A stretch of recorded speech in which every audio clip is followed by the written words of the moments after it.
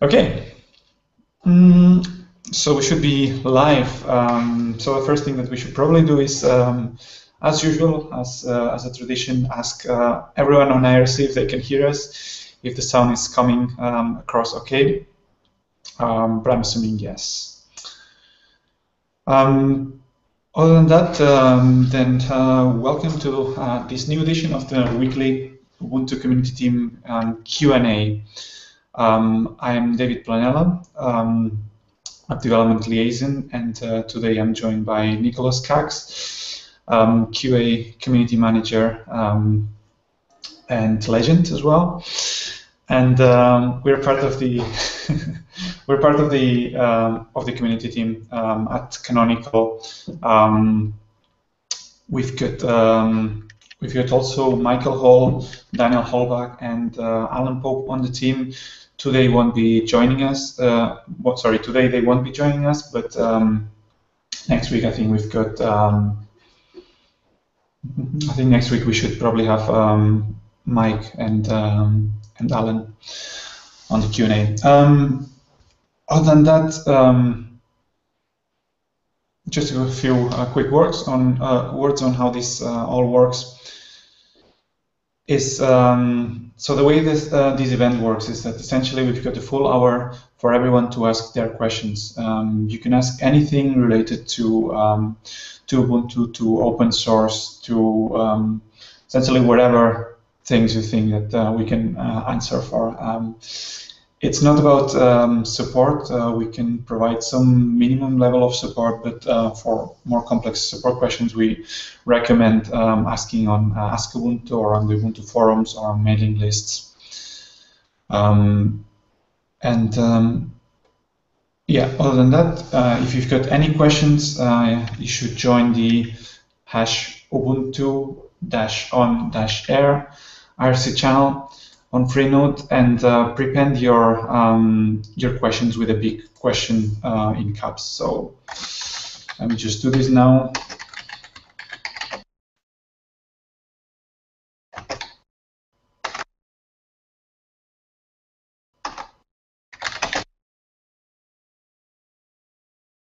All right, so I think for the preamble, that was uh, that's pretty much um, it. Um, Nick, I've been talking quite a lot. Um, do you have anything to, to add, or can you do you want to introduce yourself?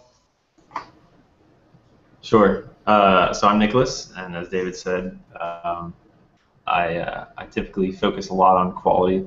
Um, all the uh, any of the core apps contributors know me quite well uh, as the as the guy they see when their tests don't work or why they have to write tests, that sort of thing. Um, so yeah, I'll just make a small plug. Uh, if you're interested in testing, today we're having a uh, Hack Fest. Same place, Ubuntu on Air. You're already here. Uh, come back at 1900, and we'll be doing demonstrations about how to write test cases uh, for both manual and automated. So you don't have to be a developer. You don't have to know a programming language to write a test case. We have needs for manual test cases as well, and we'll be hacking on some of those. And if you've never done this before, this is the event for you. So. Um, if you are interested in writing automated tests, we'll also be going over those and writing those as well. Uh, we tend to write our automated test cases using Autopilot uh, for the most part, and those are written in Python. And we'll explain all that today, uh, again, at 1900 UTC. So I hope to see you there if you're interested in uh, testing.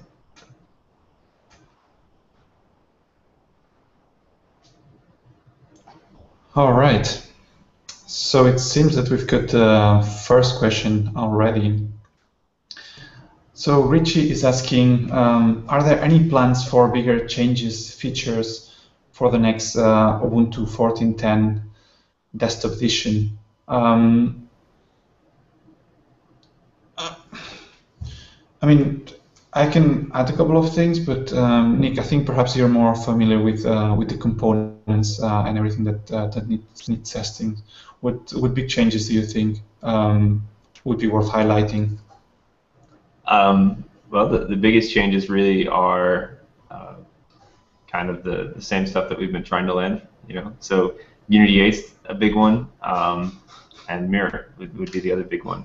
Um, you check both those things out right now. on uh, probably the best and easiest way to do this would be to utilize a CD image that has been specifically created for this purpose. So it's a live CD. If you've ever used a, a Ubuntu uh, CD before, you put it in your PC and, and, it boots up to a live session of Ubuntu. So this is the same type idea, except it will be running all of the uh, next generation stuff. So it'll be running Mir and it'll be running Unity 8. Um, I can find the link for that in just a moment and link it to you. Uh, but they, they're produced uh, every day, and so you can just grab the latest one, uh, put it in your machine, and, and check it out. Um, I'll caution you that it does not work, probably won't work for you at all in a virtual machine, and uh, so it's best to try it on live hardware. And that's not an issue, again, as I said, because you'll be booting in a live CD, so it won't, uh, you don't have to install it, it won't harm your, your current installation or anything like that. Um, and those guys are always happy to hear feedback on what works or what doesn't work um, if, it, if it loads or doesn't load, that sort of thing. Uh, otherwise, what are the features? Um, you're going to see a lot of a lot of stuff happening around convergence. So a lot of the stuff that we're doing on the phone, you're going to start to see come across on the desktop as well. Um, some of the things that I think are cool, although they might not necessarily be user-facing, are some of the changes to security. Uh, we've had AppArmor on the desktop for a while. Um, I'm curious to see how uh, app isolation will sort of come to the desktop, how, uh, how much sandboxing will do. In other words, uh, when you have an application um, now uh, running on the desktop, uh, we have some policies in place to prevent that application, if it was a rogue application, from being able to take take over your system or or do bad things, you know, uh, do your password or, or whatever it is. Um, basically, execute something that you you might not be aware of or do something uh, nefarious. Um, and so I'm interested to see how some of that stuff comes across, which we've implemented on the phone. Um, we've taken it to a, a, further step, seeing as the phone is a completely locked down environment. Um, so I, I, feel like a lot of that convergence stuff uh, is stuff that you'll see. Some of it won't be user facing, like I said, the security stuff. While other things will be. Um, you'll see some new applications and that sort of thing. Uh, I think we'll see some Qt QML applications on the desktop. Uh, we'll probably see some um, talk of, of uh, default applications again. Um, and uh, maybe we'll be seeing new music players and file managers and that sort of thing. That's a, that's a bit longer term, I suppose, than, than 1410. But uh, that's, that's, that's the type of stuff I, am uh, looking forward to seeing uh, and expect to see as each cycle goes by. Awesome. Thanks, Nick. All right, so we've got uh, quite a lot of uh, questions in the meantime. So the first one is uh, Chloe Wolfigal is asking, do you feel Canonical is spreading itself too thin with Ubuntu 14.10, Mir, uh, Unity 8, desktop, tablet, and phone? Um, I think um, the good thing about those technologies that you're mentioning is that um, they go all together. Um, and um, the nice thing about it is that um, on getting Unity 8 and Mir to work together, uh, for example, or, or porting this to, to work on on the desktop, we're essentially doing work that uh, that will um, be equally necessary for the desktop and the tablet. So each one of these technologies is key for uh, for for conversion. Um, so to answer the question, I don't think we, we, we are to be honest. Um, I think we're tightly focused on um, on the phone right now, on the um, on the on the RTM that deadline that's going to be in, in August to get uh, everything ready. Uh, for phone manufacturers to use the image and put them onto uh, sorry to yeah, to use the image and put them on the onto um, retail phones. So in that regard, um, I say we're tightly focused on making sure that those technologies work solidly for uh, for the phone. And uh, as a side effect, uh, or rather as a planned side effect, uh, uh, all of these technologies will help convergence on the on the desktop uh, as well. So it's not that we're duplicating work; we're working at unifying the technologies that that we'll be using in the, in the next years for Ubuntu.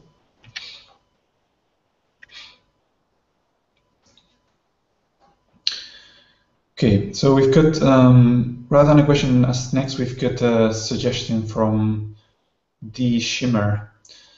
How about getting folks uh, from non-canonical or related, sorry, let me just reread.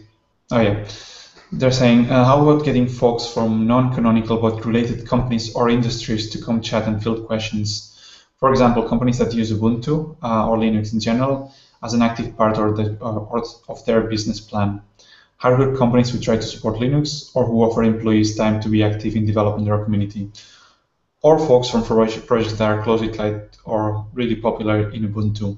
I'd say that's uh, that's a brilliant idea. Um, I mean, we can do both. We can either invite people to this um, to this chat, or we can invite people to to be part of the audience and ask questions.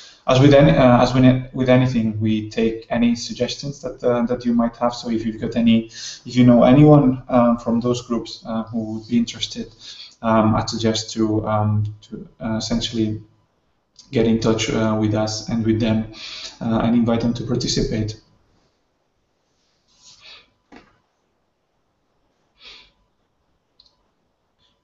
Okay. So next question. Piotrek is asking, I'd like to ask about Ubuntu Touch. There is almost nothing new uh, on the internet. Also no news about Mir. I have the impression that those plans have uh, lost their initial vigor. Is there a plan to release them quickly? Well, there definitely is a plan, and um, definitely we're not. Um, um, definitely, these projects are going forward. As I, as I said before, we're planning to have um, a phone ready for release um, in August, and uh, this includes um, Mir, um, Ubuntu Touch images, uh, obviously, and um, and essentially everyone is um, is really busy right now making sure that um, that that the images are ready.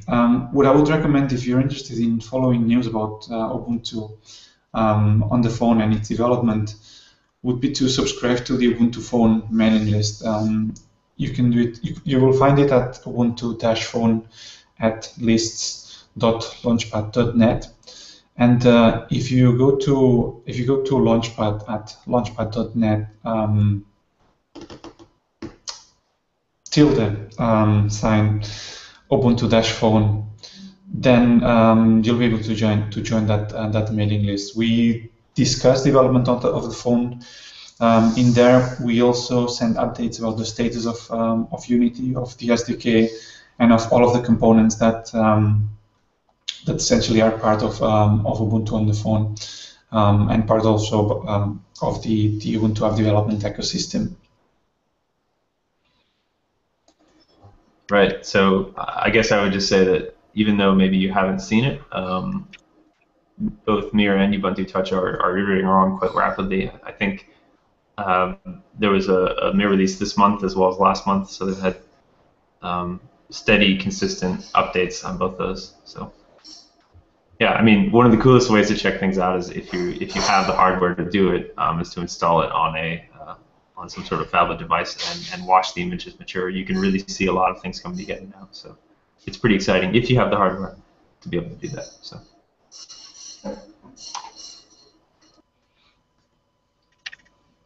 Cool. All right, so next question. Um, Nagain is asking, will there be any chance that Ubuntu Touch supports iPhone 4? Well, I think here the chances might be a bit slim, to be to be completely honest. Um, the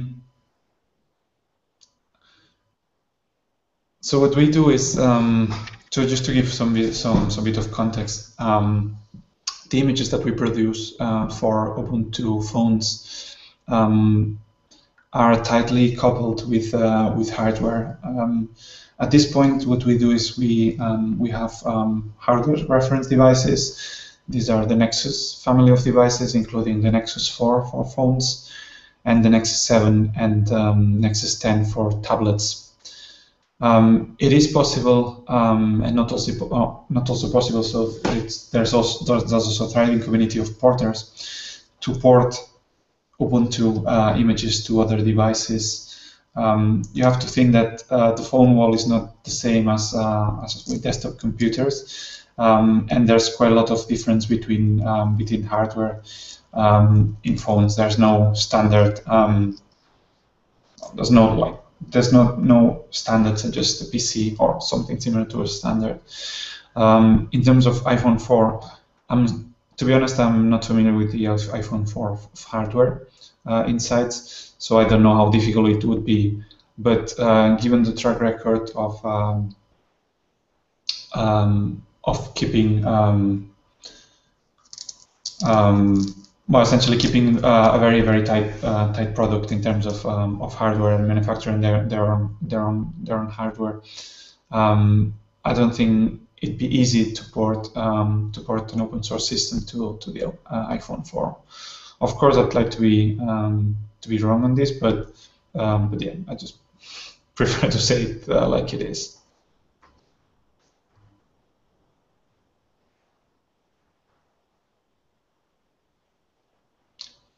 Okay. Um, trying to find the next question, David. I think it's Chloe Wolf Girl. She's asking when Ubuntu will be the number one used OS. Um, that's well, an easy question for you.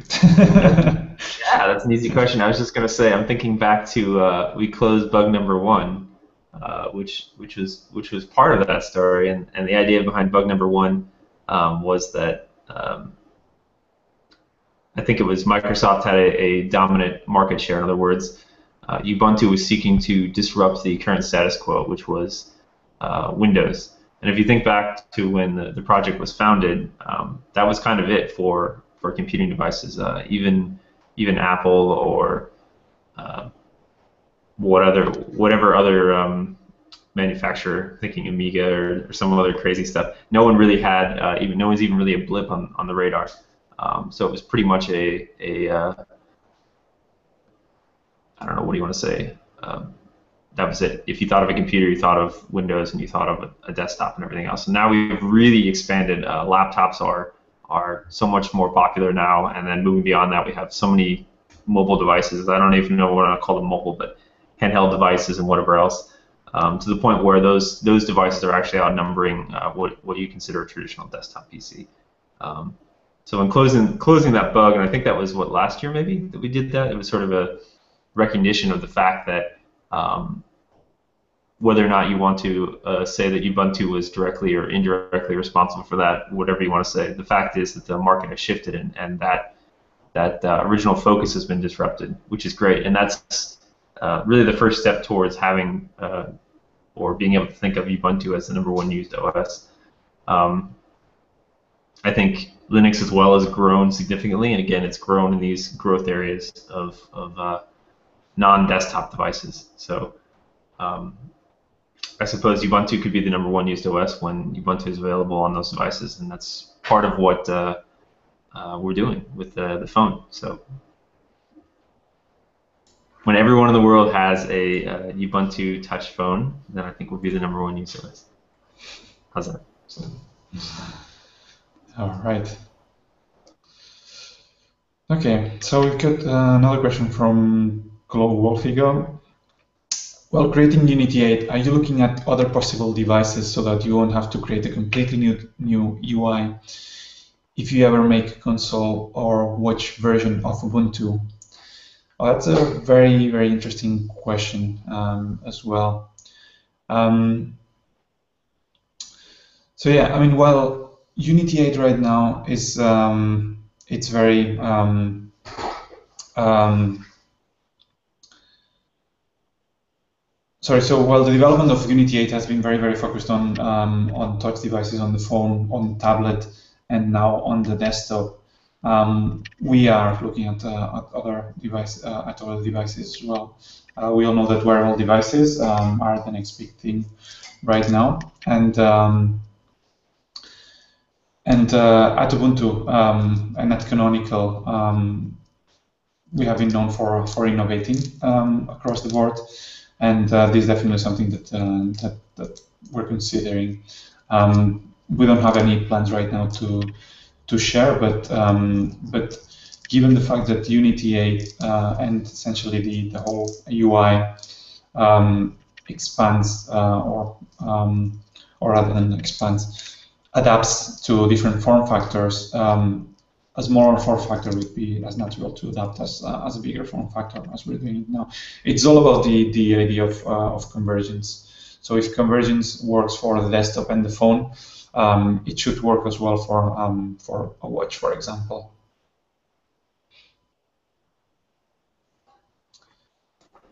So, um, David, I, I was just thinking that we maybe we should show uh, an example of this. So i will try and try and, and uh, uh, set this up and install it on my machine, and I'll, I'll share it maybe in a minute. Um, but what I wanted to show you is that, uh, as David was saying, one of the, the great uh, features and ideas of, of the, the toolkit, the SDK, um, and, and the technologies that we're using is that we can scale our UIs uh, in a really easy to use way. So we can have one single code base and have it run across multiple devices and platforms, uh, including changing screen sizes, and have it all sort of work and mesh. And so uh, I think there's a few good examples of that. I'm going to try and show you one that was built by uh, Nekhelesh, who's one of the uh, community uh, core app contributors. So I'll do that in a second once I have it up and running.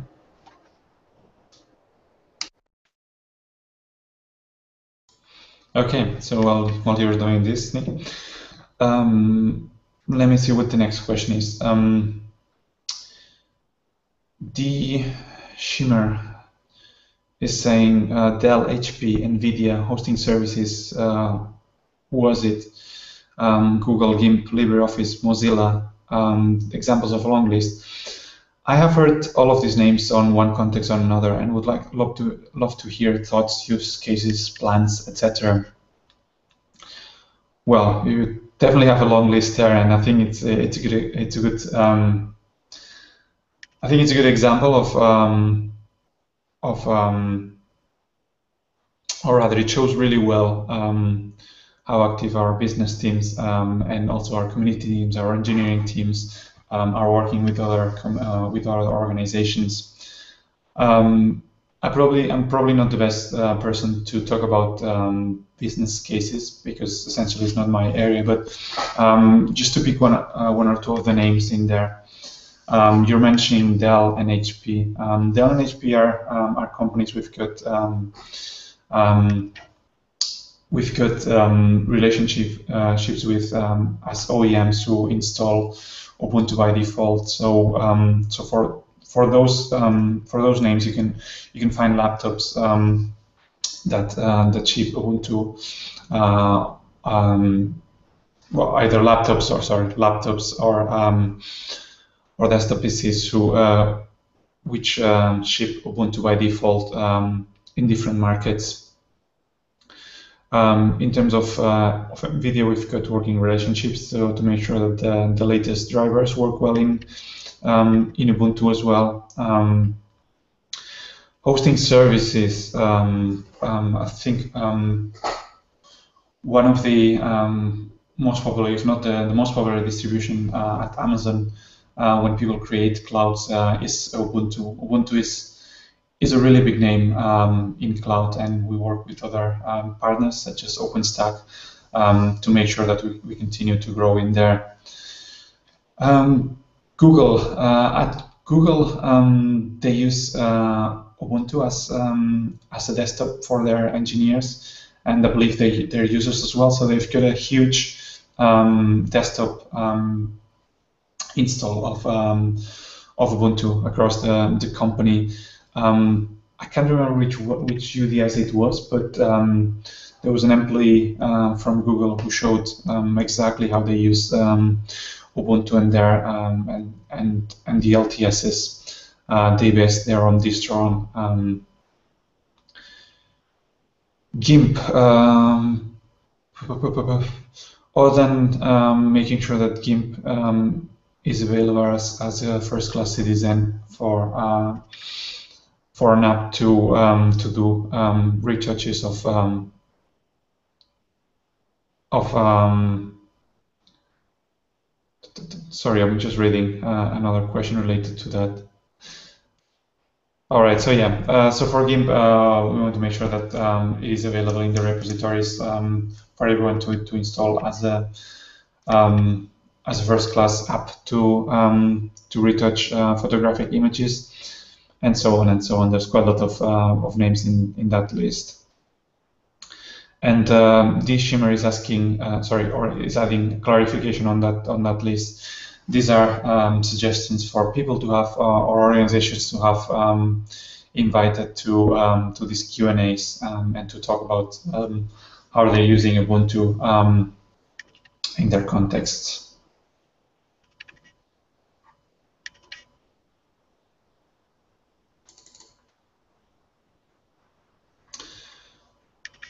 All right. Oh, sorry, Nick. How are you? And how are you getting on yeah, the let's TV? See, see if I can share this. Just a second. Share this, but not you. no one wants to watch multiples of David. Uh, shoot. Doesn't look like I can directly share the window in question. No, I don't think it works with uh, with QML if you're running the app as QML. I think you'll have to to share the whole desktop. Yeah, no one will be able to see it if I do that. My screen is way too big. Um, well, I'll, let's give it a whirl anyway. Okay. Let me, let me work on it. Oops.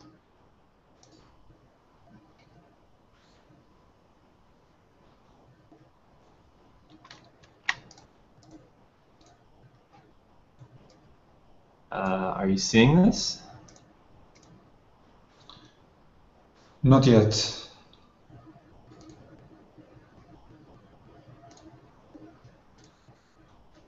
Oh yeah, that looks better. There we go. So let's try and okay, so anyways, this is Flashback. Um, this, as I said, is a application, um, and hopefully Nekhelesh won't mind me showing it off. Uh, still a work in progress. Uh, I just grabbed the, the latest build, so hopefully everything works and looks good. Um, and I'm just going to show you a little bit about uh, how it sort of converges across the, the desktop, and and uh, although I won't be able to show it directly on the device as well, and you, you'll see how the how the UI changes in response to that. So he has a little tutorial here. Go ahead and swipe through this. And Flashback is basically, uh, uh, as you can see here, is the ability to um, discover new movies and shows and keep track of what you like. Uh, so it's kind of a cool application. Um, and there's some social uh, pieces to it as well. So let's start using it.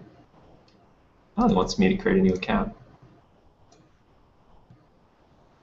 Okay, so this is a, just a list showing here. Um, he has the layout of what he would call a, a sort of fully expanded layout. So since I'm on a desktop, I can see uh, all of the UI elements and they're all fully expanded.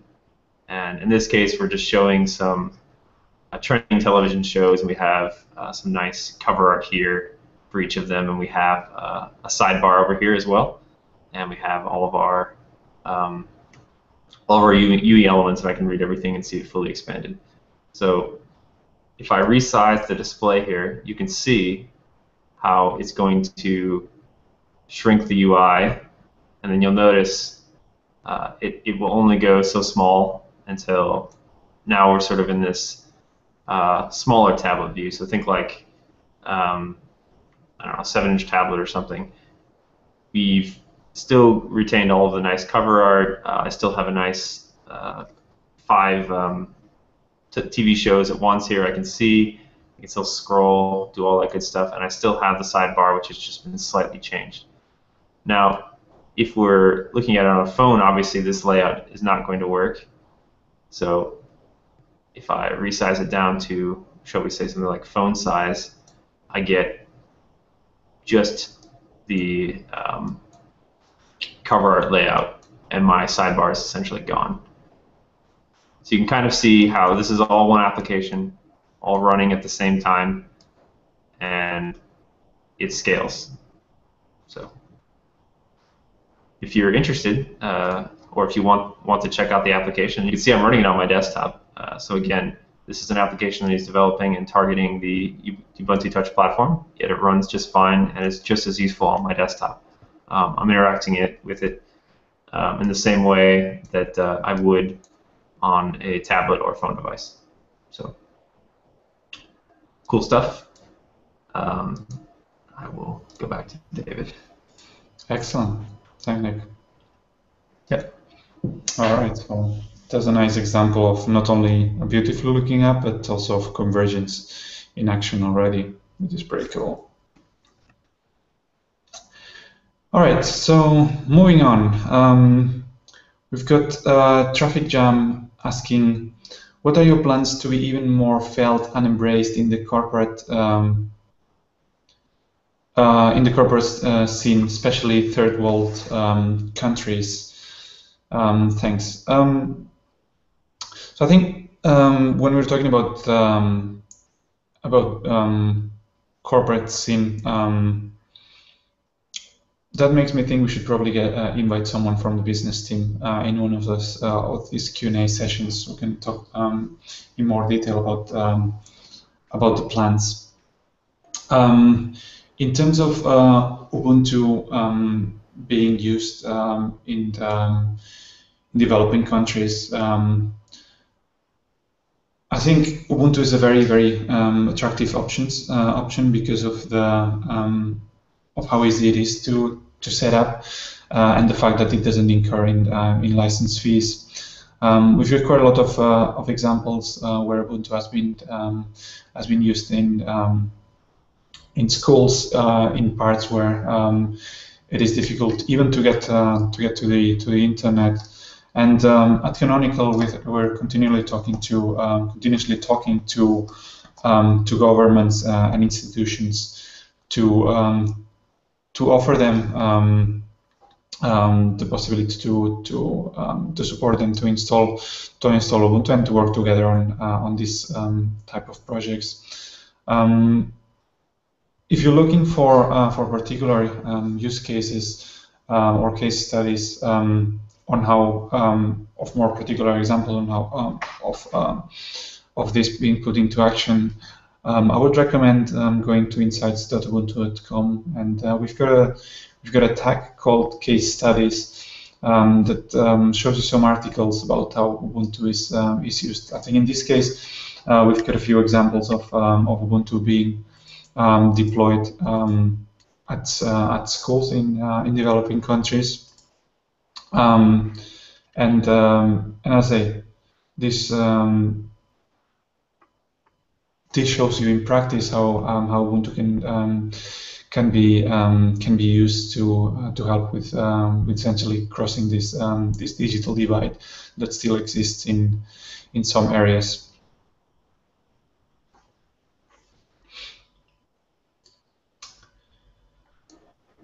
Um, looking, I think the next question might be by earplug because we've answered Chloe Wolf Girl's question already. Uh, and they ask, is Ubuntu working to get more native support for things such as Netflix, Amazon Prime, and other on-demand content? Um, I think uh, personally, having I tried Amazon Prime at one point.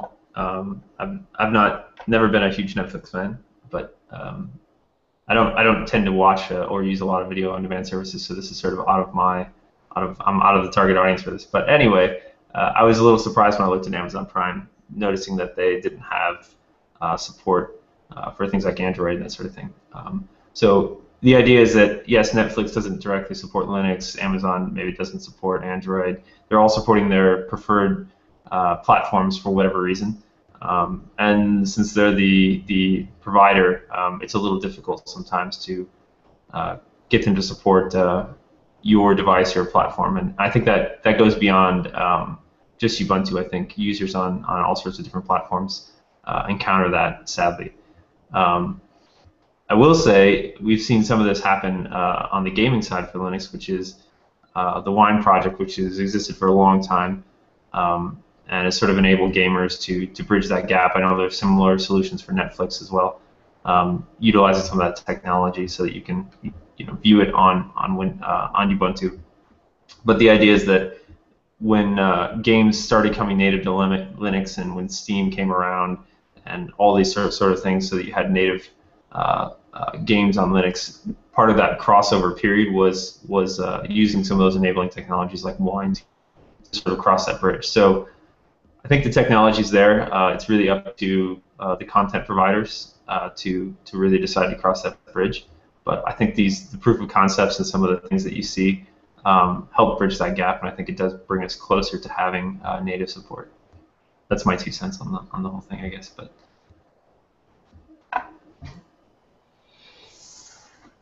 okay. Next question. Uh, this uh, okay. That's uh, that's a question from Viper29. How long have you guys been in the Linux scene for, and do you still use Windows or totally Linux? Uh, oh, um,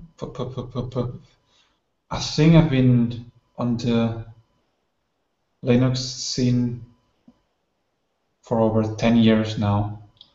Um, and the way I started was with um, with translations. Um, and I started testing different distributions, uh, and I ended up with this really cool new thing called um, called Ubuntu. And I was so impressed with the quality of the translations um, and how easy it was to get involved that I decided to to give it a go essentially. And uh, ever since then, I've contributed across many different areas. Uh, it's somewhere where you can never get bored. There's always something interesting to to do. Uh, and most importantly, there's always um, really interesting um, people to um, to get to know and to, to learn from. I've learned quite a lot um, uh, from colleagues, from team members, from friends. I've made new friends as well. Um, so yeah, I think that's pretty much how I got started. In terms of using uh, Windows, um, I'm pretty proud to say that I haven't had the Windows installation I think ever since then. Uh, when I started with Ubuntu, I started dual booting Ubuntu and Windows. But after a while, I realized that I didn't really have anything detonated in Windows that uh, that was in Team Ubuntu already. So there was no point for me to to continue um, using dual boot, and it was a pretty natural transition. So that was me. What about you, Nick? When did you start using Linux? Um, I think it also was about 10 years ago because um, I, I also got in right about the time Ubuntu started, which which which is really great. Um, I think uh, I don't think I can oversell the concept of uh, I, I like David.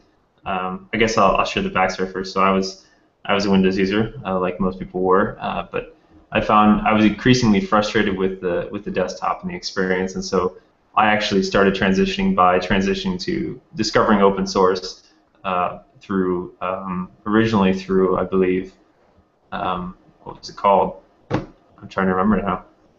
Still love uh, Firebird, I guess, and uh, which was the precursor to Firefox and and all that good stuff. So uh, by the end of it, I was using Firefox and Thunderbird and a whole bunch of other open source utilities and tools on my Windows desktop, and I realized, and I was like slowly just pruning back each layer and uninstalling all the default stuff and trying to find open source replacements and I realized that maybe it might be easier just to run an open source operating system, and you know, away we went. So I, I uh, used uh, several distros in the beginning. Um, many of them were Debian based, and uh, Ubuntu was out at the time, and I think I made the the full time switch. Um, sometime after. I think I, I don't think I ran Warty uh, completely. I think it was Breezy um, that uh, or Hoary, I should say uh, that I that I um, started with, whatever, running full time. But uh, that's how I did it for me was really transitioning off. Um, so and I don't know. I thought I thought it was really interesting and cool. I, I see uh, RPI awesome awesomeness has a follow up question. He's talking about software that replaces most of your needed software on Windows. So in my case, that was really easy. As I said, I sort of transitioned and then and then switched operating systems. So when I came to, to Linux, I actually had more software available to me uh, that I wanted to use than than on Windows. I wasn't having to like figure out ways to get the software that I wanted, um, which I suspect is probably puts me in a very small percentage of people who who wanted something that they couldn't get on Windows.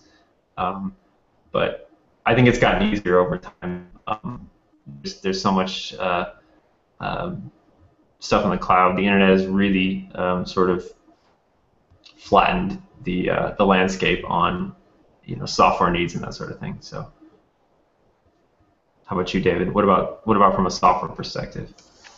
Oh, for me, what, what did it was that I was I was really amazed about the fact that um, I didn't have to pirate software anymore. I didn't have to go and um, and find software at uh, dubious sites when I needed to do something, and um, and from a moral perspective, uh, it was it felt much better to use uh, to use Ubuntu to use to use uh, software that had been created by by volunteers and had been released in the in the open software that was uh, that was legal, and um, and I mean the reason I'm mentioning this is not only because like pirated software or, or, or looking for um, for or trying to find to find uh, software um, that you can get to work on on, on Windows. Um, it was about um, how smooth, how clean it was to um, to install software. You just went to Synaptic back in the days, and you just found something, and you just clicked on it, and it got installed from the internet. Um, you didn't have to buy it. You didn't have to look much for it, look, uh, look much for it, and um, and it was just amazing. I mean, and the fact that the the operating system uh, upgraded um, like automatically off the internet. You didn't have to go through uh, through service pack CDs. Um, you didn't have to uh, reinstall the system. Uh, you just updated. the, I mean, essentially, you got a system that, that that was new every six months which was unthinkable of with uh, with Windows. So that that was software-wise what did it for me. Yes, I think that the first time I had to reinstall Ubuntu, I was pretty blown away at you know the idea of not having to lose all of your stuff and not having to go through tons of time and yeah, it's a lot those those are sort of hidden gems that you found along the way. Um, yeah, yeah. Okay, so uh, Daza asks. Uh, just a perfect question for you. Yeah, he said, well, he says, can we go through creating tests from scratch in a tutorial on how to contribute? Um, and he says, I read the docs online, but seeing it in action would be nice too. Um, yes, I can totally do that. And today at 1900, if you come back here on ubuntuonair.com, we will be doing exactly that. Um, and we'll, me and uh, a couple other folks will be demonstrating uh, writing automated tests and using Python and Autopilot, and we're going to try and work on some Autopilot helpers for the core apps. So if you're, you know, know Python and into programming and have those skills, please join us. If you don't, um, then we're also working on manual test cases as well. So for that, all you need to be able to do is uh, read and write English, and you're good to go. We're going to be working on some uh, manual test cases for, uh, I believe, some of the flavors that still have some of the default applications. Uh, you can also hack on some of our existing test cases for uh, Ubuntu and, and, whatever else. So um, plenty of cool stuff to do. Uh, 1900 UTC right here on UbuntuOnAir.com today. So your wish is my command. awesome. All right, so we've got about uh, 15 minutes to go. Um, we've got um, a couple of announcements to make and we've got a bunch of questions. So we'll uh, try to go through all of your questions. Um, we might be a bit more brief than, than the rest of the of the session, so that we can go through everyone's questions. Okay, so next question is uh, from RPI Awesomeness. Is there any plan to bring Ubuntu stores that sell Ubuntu gear uh, to the US? Um, not that I know of. Uh, I mean, the, the Ubuntu shop um, where you can get um, all, of, all of your Ubuntu gear is available online um, in almost every country of the world. And um, and yeah, well, it would be nice to have some retail, like physical retail um, stores. Um, I think our focus rather than than, than selling Ubuntu gear is more about making sure that we produ produce uh, an operating system that um, is essentially used by everyone.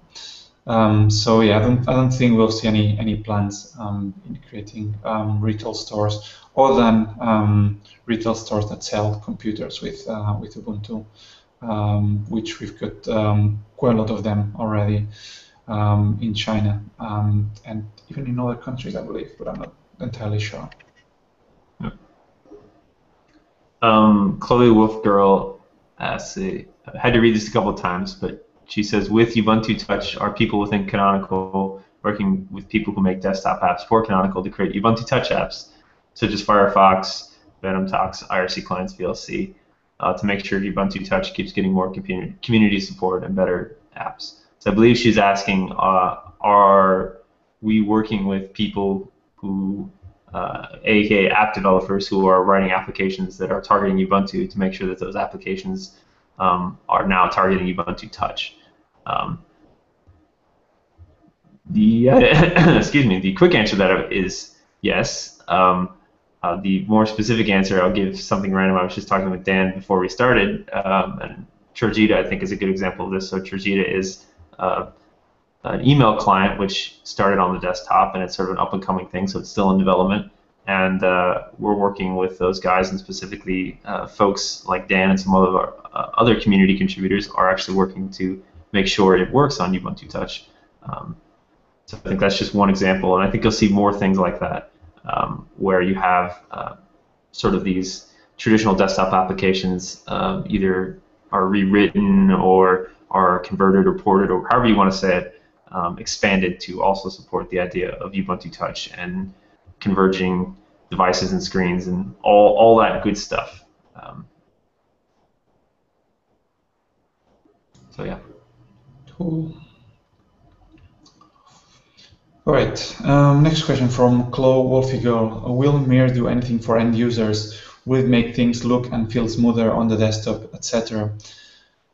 That's a really good question. Um, there's been quite a lot of talk about Mir display, um, display managers uh, and compositors and so on. And I think the one thing to know is that as a user, you probably shouldn't need to worry about this. Um, the goal is that you have the same um, smooth experience that you had um, before the switch to Mir um, as after the switch to Mir. Um, so, well, I think some of the animations um, will feel smoother from looking at uh, what the phone looks like with uh, with Mir. Um, I think um, the good thing is that you either won't notice the difference or we, you will notice uh, a slight improvement. So I think that's pretty much it in a, in a nutshell. Yeah, I mean, it, it will enable some things, although we have it a bit. Um, I know there's a big push a little while ago for uh, flickerless boot, for instance, and that's something that, that Meteor will allow for a, a, lot easier than, than something on a traditional X server. The handoffs will be less and that sort of thing. So a smoother experience for sure. Um, Chloe, Chloe Wolfie Girl again asks, why would a developer who is making Android and iPhone apps make a Ubuntu app, make a Ubuntu Touch app? Excuse me. I'll let David take that. Okay. So um, there are different reasons. Um, I mean, there are, there are people who develop um, who will develop an application because they uh, for for Ubuntu because they are Ubuntu users. Um, they use Ubuntu for for develop, development, even if they, they develop apps for, for other platforms, and they, they believe in open source. They um, and they want to um, to see their application being put to use uh, for Ubuntu users. I think most um, app developers have realized that um, if you want um, if you want to thrive um, as, as a developer, you have to expose your content to different platforms. And uh, what we're working on is uh, on making Ubuntu uh, an attractive platform for people to um, to to port their apps their apps on. Um, there are other things such as the, the technologies uh, that we use. if you're a web designer, for example, it is really easy to port your application on your HTML, sorry, to port your HTML5 code to, to Ubuntu. So as a web designer, that would be Ubuntu would be a very attractive platform to get my um, to get my app running um, on, um, since it would would um, not essentially um, need uh, many modifications. Uh, we're using standard technologies for that. So yeah, so exposure to um, to multiple to multiple platforms, um, exposure to a platform that's um, that's innovative and that's going to be a key player in the next few in the next few years. And um, and also we should uh, we should mention um, scopes, not only apps. Um, apps uh, are something that every every platform offers. Um, and while uh, we do want to, to increase our market share, um, we realize that uh, that's it, it's a tough mar market. Um, the differentiating part about Ubuntu um, is our um, scopes offering as well. So this is something that an app developer should be considering as well. Essentially, scopes are a way to um, to provide content um, in a way that's very very integrated in the in the OS, and in a way that uh, it enables you as a developer um, or as an OEM to um, to modify the UI um, and um, and to make it easier for users to get uh, to get content, to get to, to search content and, and to get results. So yeah, I'd say it's a combination of uh, of all of those. Okay. Um, so we, we are really running low on time, David. So let's try and rapid fire some of these questions. How does that sound? Yeah. Um, MP151 asks, what, what are the small smallest computing platforms, for example, Raspberry Pi, Hummingbird, that Ubuntu has tested and can run? Um, we, I think I think you've answered your, your question to some extent. Um, obviously, you can you can put Linux on all sorts of things, and people have. Um, and Ubuntu has nothing uh, specific or any requirements beyond uh, beyond what you would expect. So um, we have uh, we have an uh, ARMHF um, branch. I believe we dropped support for extremely old uh, ARM devices some time ago. So I think that would be the only constraint that you would have. Uh, as long as it's a newer ARM chip or uh, x86 chip or even some PowerPC or whatever else, um, you could probably run it. Sonam asks, talking about uh, having a, a, stable distro. So he wants something. He says, why doesn't Ubuntu believe in something that works? It's better to leave it that way instead of changing every time. Um, he's saying his system upgrades make his system unstable and that sort of thing. Um, so he's asking, is there a way we can keep things stable and increase hardware compatibility? Uh, to me, it sounds like um, if, if, you may be having some issues, you know, there might be hardware issues or other things underlying if you're seeing frequent breakages or an unstable system. But that aside, if you want something that's that's well supported, that doesn't change very often, and that uh, stays stable while increasing hardware compatibility, you, have just described our LTS releases. Um, and I, I, would highly encourage you to check those out. Uh, Trusty is, is the latest one, and uh, if for some reason Trusty isn't working well for you, you can also try Precise, which is still still supported for a few more years yet. Um, and if you have newer hardware or as things change and you, you plug new components into your system, um, we have uh, LTS uh, has uh, enablement kernels, uh, enablement stacks. I'm just trying to think of the name, which brings uh, newer X server and newer kernel to the older release. So that's the idea of increasing hardware compatibility while keeping everything else stable. So if you haven't checked them out, I would really encourage you to check out our LTS releases.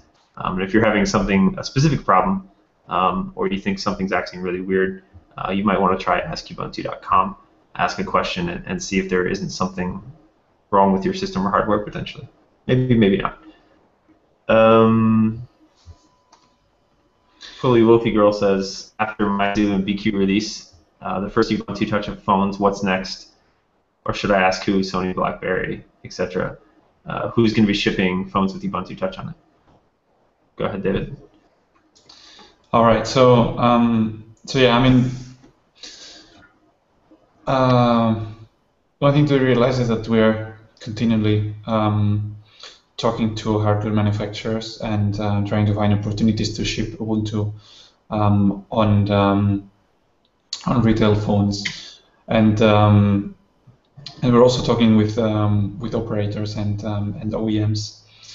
Um, we cannot say um, who because um, this is something that uh, our team is not working on, the community team.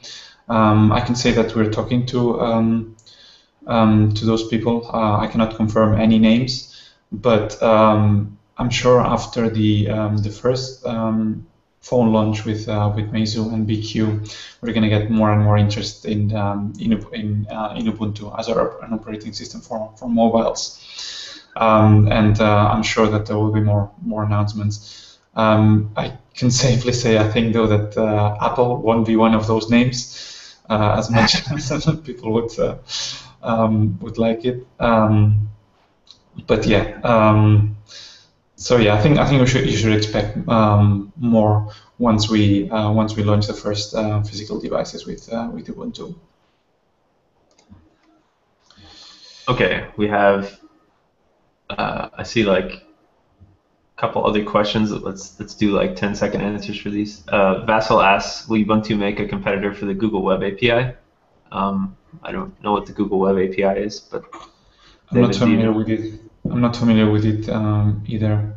Um, my, so my assumption is no, whatever it is. I mean, we, we're not really into the internet API type services, so it's probably a no. Uh, and Chumpus asks, uh, is there any plans to change the layout or, or look of the Ubuntu Software Center, Software Center, excuse me, give it a more Unity feel or look? Um, I, I, think I'll let David talk about that, but yeah, essentially the um, I think we'll see many. I don't think we'll see many changes on the on Software Center. Um, we will see more changes as we move to a, a Unity 8 session. Um, in the sense that um, you'll be able to transparently install applications from the dash uh, in the same way that you do with uh, with the phone. So rather than having a dedicated um, dedicated application for that, um, you will be able to just uh, do a search for an application, click on it, and, uh, and install it all directly uh, from the dash. So you'll have a much much uh, much much more integrated experience as uh, as a user. That said, the uh, the software center um, is still in the repository, so for those who want to use it, you'll still be able to to install it. But as I say, the idea is that um, installation um, becomes a more integrated workflow, and um, and this can be done from from the dash. Right. So you'll see, I think, as with with many other things, you'll see that converge across back to the desktop. So a lot of the stuff you see on the phone, you'll see come back. So that that is sort of the future. The future, yeah, that sounds cool. All right. Okay, so I think um, we're running out of time, and uh, as as I see, I think we've answered all of the questions that we had right now. So let me take. Oh, sorry, Nick. Was there any other one? No, I said hopefully we have, but yes, go ahead. Get your announcement. Yeah, if not, uh, just please come back for more next week, uh, and we'll answer the rest. All right, so I just wanted to make a couple of, uh, of quick announcements of things or of exciting things that have been happening this week um, in the in the Ubuntu world.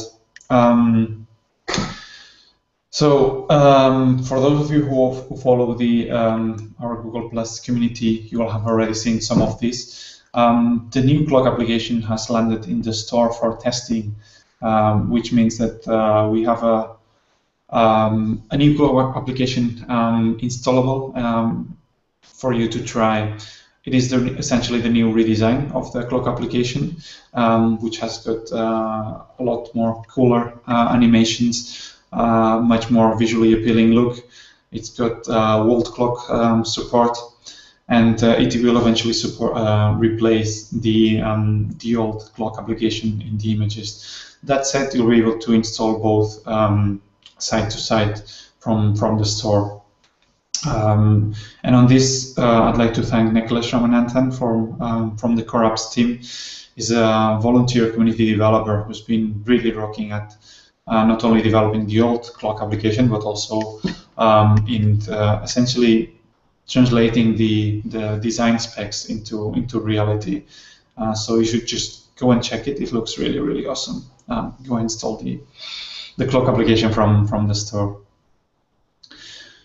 And continuing with uh, with uh, awesomeness and uh, and applications on, on Ubuntu on phones, uh, reminders the application that's um, the notes note taking application that's powered by Evernote as a third party um, API has landed in the images already. Um, not only that, but uh, we've switched from using uh, testing accounts to regular um, Evernote accounts. So um, not only is Reminder is now installable from the store, but it comes pre-installed with the with the images. So for those of you, of you who are, already Evernote users, um, you'll find it really cool to to find third-party integration um, with your um, favorite note-taking app, um, also on Ubuntu. I think that's that's pretty cool. That shows the interest uh, from from ISVs um, and popular names um, in the apps world in Ubuntu. So I think that's uh, I think that's pretty exciting. All right. Uh, so the next one that we've got is that um, we're ramping up to uh, to what we call the RTM milestone. RTM is uh, release to manufacture, and uh, it's a deadline that we've set uh, for essentially having the phone ready to hand over to, um, or sorry, I should say, to having the Ubuntu phone images ready to hand them over to um, to phone manufacturers and um, and that means that we want to have everything ready by by August, um, and that means um, that means translations as well. Um, Ubuntu has already translated uh, into um, more than 20 languages uh, on the phone, but we want to have more and more coverage. We want to uh, make Ubuntu available for everyone to use in their native language. So um, if you if you've got uh, translation skills, um, make sure that um, that you head to um, to projects.davidplanella.org um, slash stats, uh, and there you'll find um, translation statistics for all of the languages, and uh, you'll find links on how to get started and contribute to um, to Ubuntu. Um, so again, this is um, this is projects.davidplanella.org slash stats. And finally, I think the last one I'll, need, I'll, I'll leave for you for Unique. Uh, I think you wanted to talk a bit about the Hackfest today. Yeah, um, I'll just mention it again real quick. Uh, so at, at 1900 UTC today, right here on Ubuntu on Air, um, we'll be doing a Hackfest for uh, writing test cases. And that covers both manual and, and automated test cases. So you don't feel like you need to know a programming language or be a developer in order to write test cases you just need to be able to read and write English, and we can teach you everything else you need to know. And so we'll be having uh, some demonstrations today at 1900, as I said, right here on Ubuntu on Air, and then we'll be hanging out, and uh, we have uh, a list of stuff we're, we're going to try and get done, and some new test cases we're going to try and write. So we'd love to have you. Uh, we'll be happy to help you if you're new. Uh, this is the perfect time to come out and uh, write some test cases with us. So hope to see you there. Excellent. All right, I think with that we can wrap up the um, questions. Um, uh, I don't think there are any others that we haven't answered already, and we've covered the announcement as well. So, um, so yeah, I think all that's left is to thank everyone for um, for watching us. Thanks everyone for participating with your interesting questions, um, and um, stay tuned for uh, what's coming up, up next week. Uh, as usual, we'll have a weekly Q and A and if I remember correctly, I think next week we have a guest uh, from the design team. We will have uh, Giorgio Venturi um, talking about the latest design changes in Ubuntu, um, and in particular um, in the in the clock app that we've been mentioning um, already. So stay tuned for the uh, for the announcements on uh, on the Ubuntu social networks, on Facebook, on Google Plus, um, and on Twitter, and everywhere else essentially. And and yeah, next week, same time, same hour. Um, sorry, same time, same day. Um, uh, we'll be here to answer all of your questions. So yeah, thank you everyone, and uh, see you next week. All right. Take care, everyone. Bye bye. See you.